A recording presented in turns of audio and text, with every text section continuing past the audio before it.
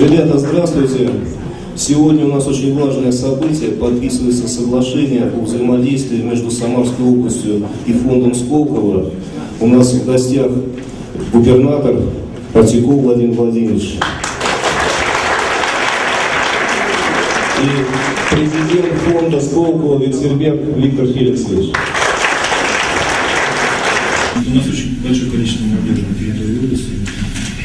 Молодежь очень талантливая, перспективная, для нас очень важная, а работа с молодежью особенно. Значит, у нас работа с молодежью идет по нескольким направлениям. Ну, первое, конечно, обучение. У нас много учебных заведений, где сегодня молодой человек может прийти и получить специальность, изучить профессию в любом направлении начиная от гуманитарных, технических, юридических, экономических и так далее. В области более 100 тысяч студентов учатся ежегодно.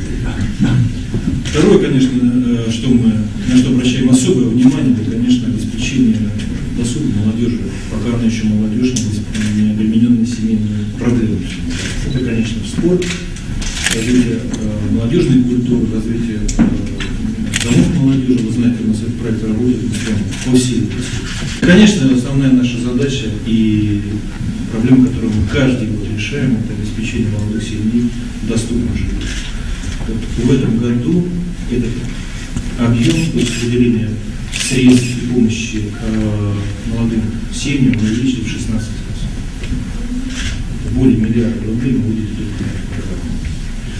И понятно, что это не предел, и понятно, что э, эти программы будем реализовывать в дальнейшем. Считаем, и я считаю прежде всего, что и такая помощь молодой семье прежде всего необходима. А это тоже молодые.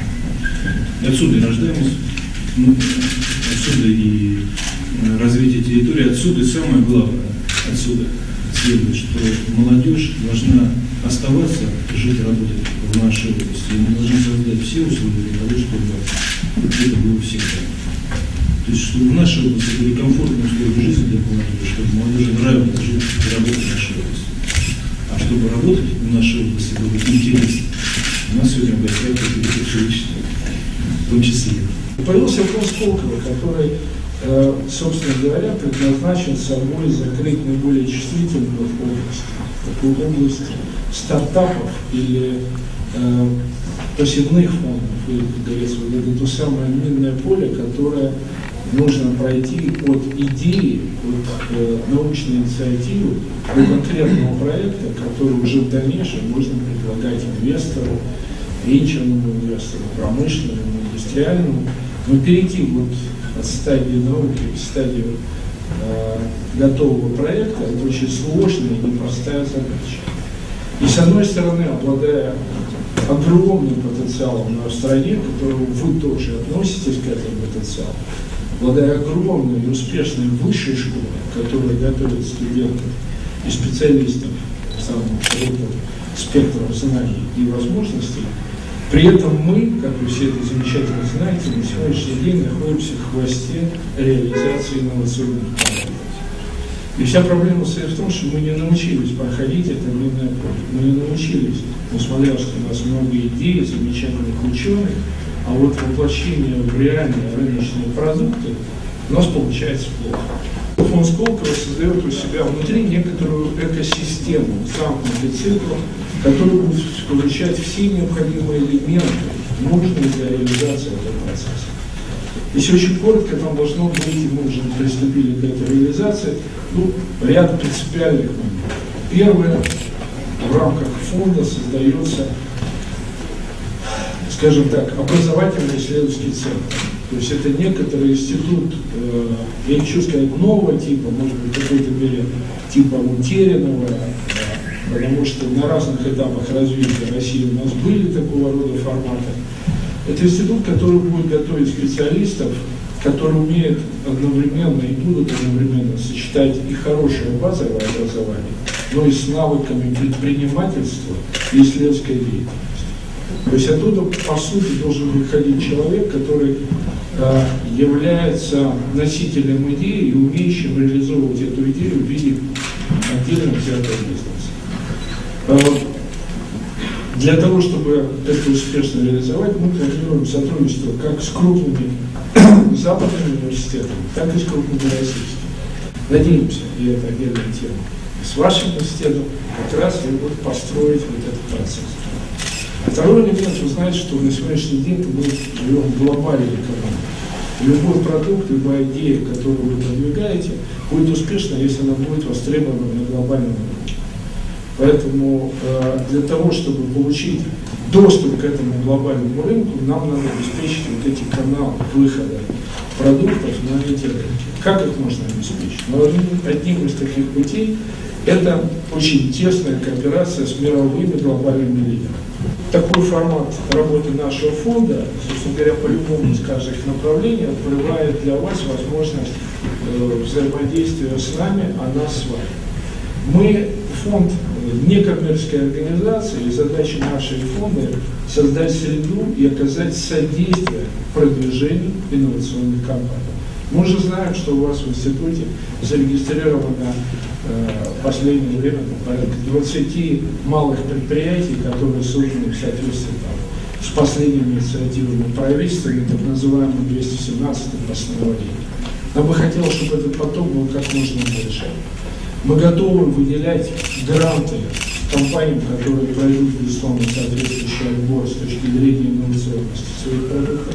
Мы готовы оказывать содействие молодым специалистам для осуществления стажировок в рамках работы на ведущих корпорациях мировых. Мы готовы представлять возможность для стажировки вас и работы уже на опытах ведущих международных университетах. Э, кстати, у нас уже работает открытый университет, и нам бы очень хотелось, чтобы вы тоже стали участниками работы этого открытого университета, тем самым получили доступ к общению с мировыми э, известнейшими людьми как в области бизнеса, так и в области науки. Есть широкий спектр возможных коммуникаций в конечном счете предопределяющий, э, как нам бы хотелось, э, значительно больше возможностей, которые сегодня и наш фонд, и вообще в целом российское правительство вам предоставляет. В конечном счете мы хотим измерить наш успех тем, что вы закончили, или кто-то из вас, э, университет, и когда встанет вопрос о выборе места работы или чем ему заниматься, чтобы у него в последнюю очередь, я подчеркну, в последнюю очередь пришла мысль о том, чтобы куда-то уехать за границу реализовывать там свои возможности и потенциал. Вот наша задача стоит в том, чтобы в первую очередь это было у вас совместно с нами в нашей стране, чтобы у вас были те же доступы, те же перспективы, те же материальные блага, которые вы можете заработать там, и плюс еще больше. Парламент реализовывает проект создания территории и парков, парка высоких технологий. Мы понимаем, что э, сотрудничество с фондом Сколково придаст значительное мощное, более мощное развитие нашего проекта. Экипаж высоких технологий городе это и рабочие места, безусловно, это и развитие нового производства, а что самое главное, это практическая реализация значит, теоретических инновационных проектов на территории города Тольятти учитывая прежде всего, что рядом развивается у нас экономическая зона. Считаю, что э, такой вот практическая реализация этого соглашения в ближайшее время даст серьезный эффект для развития предприятий и для создания новых высокотехнологичных рабочих мест, особенно среди молодежи. Ваша область одна из тех, которые вот, в формате инновационного лифта является замечательными, успешными этажами инновационного. В первую очередь это э, хорошая высшая школа. Мы уже сегодня подписываем э, соглашение в Тольяттинском государственном университете. В принципе, университет давно зарекомендовал себя как один из ведущих вузов страны, готовил классных, высокоспециализированных специалистов. И нам очень хотелось, чтобы вот именно эти специалисты были теми кадрами, которые станут носителями э, новых принципиальных подходов станут теми людьми, которые будут заточены на э, работу в направлении по развитию и созданию инновационных технологий.